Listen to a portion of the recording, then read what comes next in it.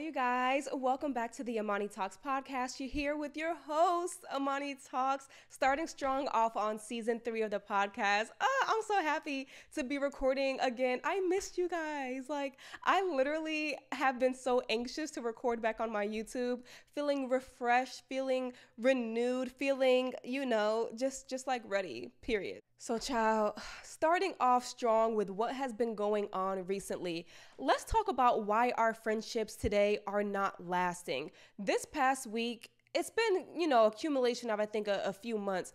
But this past week specifically, we have seen two major friendships, women friendships, end in what seems to be turmoil and just messiness, girl. Because why is it the city girls, okay, and also B Simone and her friend Megan Ashley that had the Know for Sure podcast.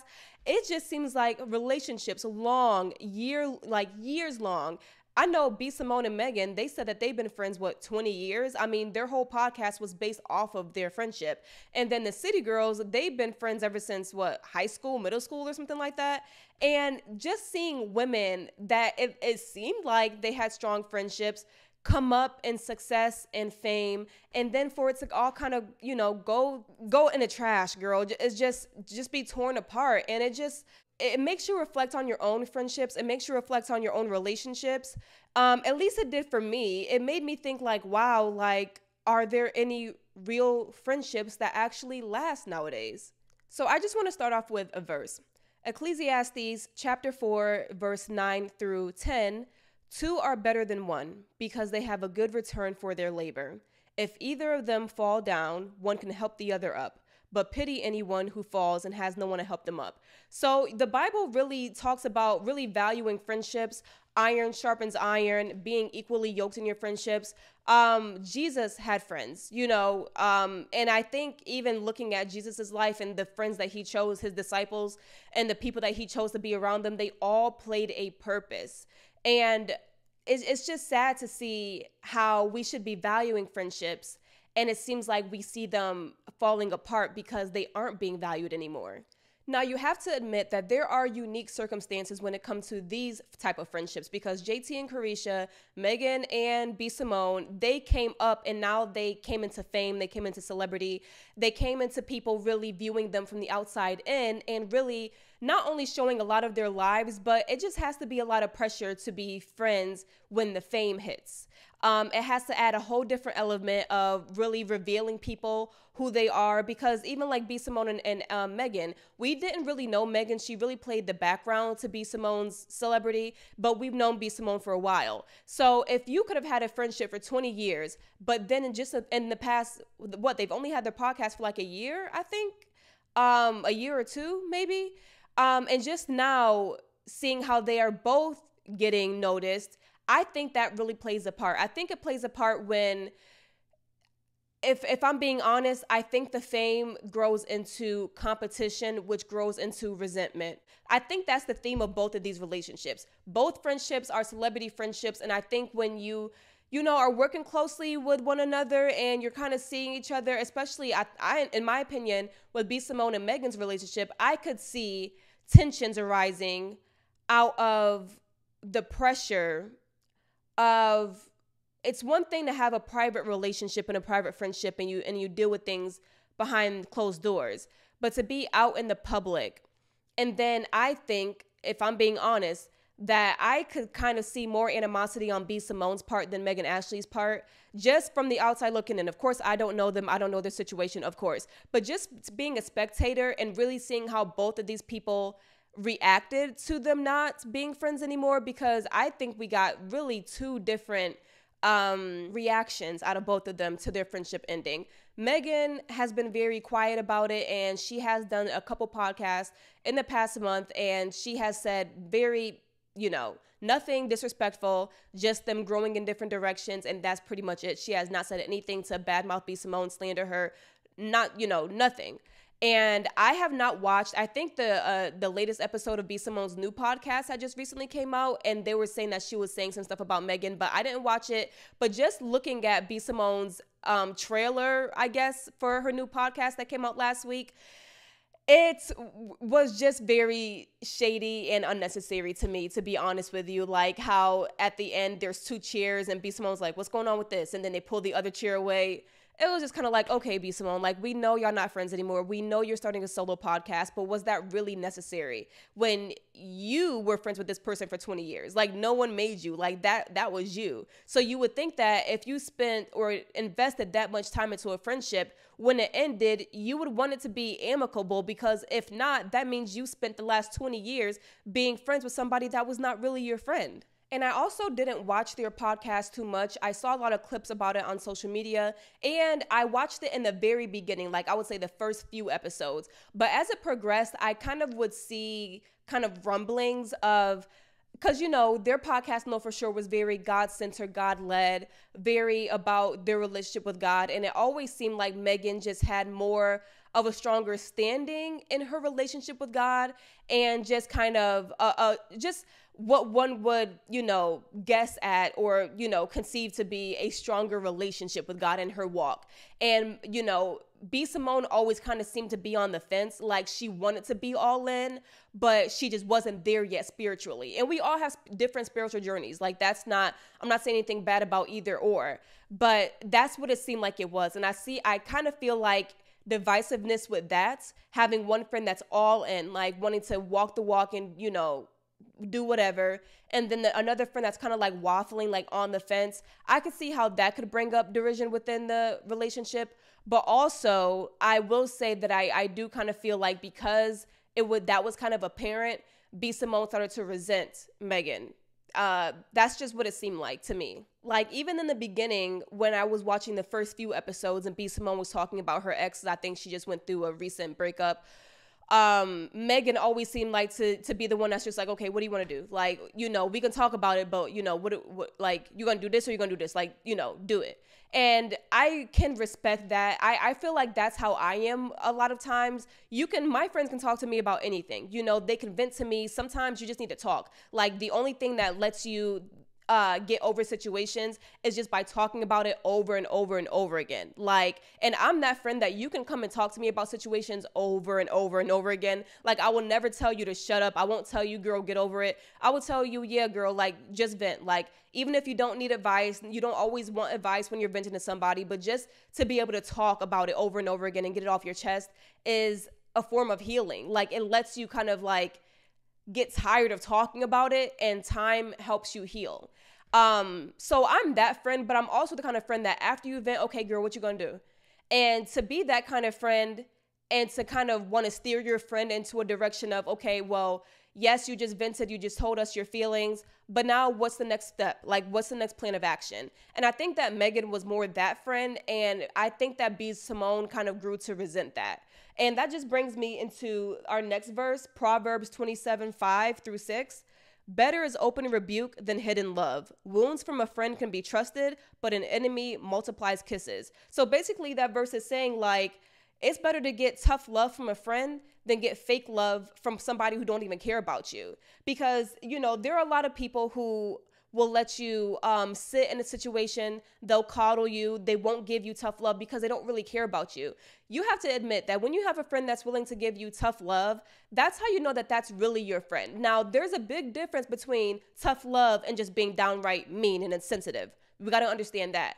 But when it really is tough love, um, that just means that that person just wants better for you. Like they want you to move past, they want you to level up. And friends that will let you sit in your pity, friends that'll always throw you the pity party, friends that will, you know, never tell you that what you're doing is wrong. You know, the first part of that verse said, better is open rebuke than hidden love. So, you know, when a when a friend is rebuking you, mean, you know, they want you to turn away from whatever you're doing. You they, they want you to turn away from that man that's no good for you. They want you to, you know, stop being lazy. Like you talking about your dream, okay, let's put a business plan in, in, into motion. That kind of friend is always the type of friend that you want in your life. I don't want people around me that are just going to yes me. I don't want people around me that are going to, I'm going to tell them what's going on and it's a negative situation and they don't try to help me to get out of that situation. I would have I would rather have friends that look at me and is just like, okay, you're Amani, stand up. Like, stand up. What you gonna do? I let you sit here and vent, but what you gonna do, girl? Get a plan, uh, get a plan into action. And I kind of really feel like Megan was that friend and B Simone was just not having it, period. And then when we talk about the city girls, another verse came to mind too. Proverbs 12 26, the righteous choose their friends carefully. Now, it's a lot to talk about with that one. Because with JT in Miami, we kind of seen them, we saw them come up. Like, you know, Yung Miami held down City Girls when JT went to jail and she came out to a, a, a thriving career, okay? And I could see them coming up together and then just growing apart. I, I really see that. I don't think that they have been friends, close friends at least, for a while now. And you could just tell in interviews when JT was on Caresha Please, um, you know, just a lot of different times that it just seemed like they just weren't close friends. And I honestly feel like JT was just more towards, okay, let's get to this money, let's get to the rapping, let's get to our careers. And Miami was just kind of like, the the fun girl, the party girl, like let's go shake our butts at the club. You know, like that just seems to be Miami's personality and I feel like they just grew apart. Now, where that verse comes in, the righteous choose their friends wise carefully. That is a like it's such a simple verse, but that says so much. The righteous choose their friends carefully. In modern times, when people are choosing friends based off aesthetic, when people are choosing friends based off of oh, we both like to go out and drink. Um, we I I think we are seeing a rise of very surface level friendships to where people have 10, 15 friends, but are they really friends? We've gotten too used to using the term friends when we really mean acquaintance or somebody that we're friendly with. Because I can be friendly with 10 people and I could be like, hey, girl, like, I have an event coming up. I'm, I'm inviting you to the event but really having a friend that I talk to on a regular basis. I don't got to see my friend every day or talk to them every day, but talking to my friend about things that matter in my life on a regular basis and telling them things that I know will not be repeated, telling them things that I can't tell other people, that's a friend. A friend is somebody that checks up on you because they know what's going on in your life. That's a friend. And we have gotten so used to calling Sally, Jenny, Trisha a friend that we have really lost sense of what a friend really is. And because we've lost sense of how important friendships are, we don't even choose them carefully anymore. The verse says, "The righteous choose their friends carefully." We don't even choose friends carefully anymore. We look at a girl or I'm not going to say we cuz I don't. but a lot of people will look at someone and be like, "We like the same things. We we probably like basketball, you know, we like going out." Okay. And then we never share I don't know, our feelings about things. You never know how I stand on just a lot of things in life. Um, our friendships are very much surface level. You don't see people really going in depth with their friendships anymore. Now it's pretty much good enough that we like to both go out and, and drink and wear short skirts. Like that's what I see a lot, especially in Atlanta. You know, a lot of partying goes on here. The clubs are like its own entity. Um, especially in Atlanta. Like people that that's just what it is. People will choose to be your friend based off of aesthetics and based off of very surface level things like going out every weekend. And that's also why they be making the jokes about girls be having different uh, friends at their birthday dinner every year because no one chooses their friends wisely anymore. And when I think about JT and Caresha and how it was smart, in my opinion, for JT to kind of branch off from Yung Miami, especially from what we're seeing now with Yung Miami being involved with all that nasty, messy Diddy stuff with the drugs and the trafficking. And, ooh, she, JT probably saw what was going on and was just like, eh, nipped it in the bud. Like, I'm not gonna be a part of that. I already went to jail once. I'm not going back because of fooling around with y'all. Like, no, thank you. Um, but just think about if she had loyalty to Miami, like if they were really close friends and she would have went with whatever Miami was doing. Like Miami would have brought her in and JT is like entangled in that Diddy mess with her. Like I don't I don't think that we stop and think about how our friendships really our relationships period. They tailor our lives. Our friendships 100% tailor our experiences and our lives, our outlooks on people if you befriend a weirdo by mistake, a girl that's jealous of you, that may, you know, cause you to have a negative outlook on future relationships and it's harder for you to make friends in the in the future with people that are actually genuine. I've had those experiences. I don't think that there's any it girl. I don't think that there's any girl who is a good-looking girl that got stuff going on for her, you know, thriving in life that has not had other women want to be around them to try to copy their life. I've had it done to me several times. People want to be around you that aren't even your real friend. I've had girls be around me that didn't even like me, but you know what they did? They tried to uh, ask me, "Oh, you know, how can I get in with your job?" or, "You know, how do you do this? Like, how do you how do you do this?" They they try to like soak up your energy. They try to take up what you're doing in life and it's just uh it's like that's why you have to be very careful because you never know the people that you're calling a friend what their real motives are. The righteous choose their friends carefully. But let's just say that you don't choose your friend wisely and you have friends around you and you find out this girl's a snake like she is not really my true friend um and you are just putting two and two together this verse comes to mind too 1 corinthians 15 33 do not be deceived. Evil company corrupts good habits. So you could be somebody that's on the straight and narrow. You have nothing but genuine feelings um, and try to have genuine relationships. If you slip up and you choose the wrong friends to hang around you evil company corrupts good morals corrupts good habits corrupts good beliefs it's a lot easier for bad habits to rub off on good people than for good habits to rub off on the wrong person. Like they said, one bad apple spoils the bunch. All it takes is just one person to come into the group and spoil the whole the whole situation. And it's a lot easier for you to rub evil and you know, messiness, gossip, all these bad things off on a person than for them to influence you for the better. Have you noticed that? I've definitely noticed that. It's, it's a lot easier for somebody to go down a hill than for you to go up the hill. That's just life. So it's imperative for your livelihood, for your good habits, for your trajectory in life to choose the right people to be around you, friendships included. And even when friendships break up, like JT and Caresha, like, you know, Megan and B. Simone, you shouldn't automatically look at that as a loss because some people are not a loss sometimes God is clearing your path. So, you know, uh, me and my friends were just talking about this. When you pray and ask God to remove people from your life, why is that the quickest prayer that He always answers? I swear, that prayer be on the top of His list. As soon as you pray and ask God, please, God, if this man is not my husband, remove him. Please, God, if this girl is not my friend, if she got evil feelings towards me, remove her. He remove them like that.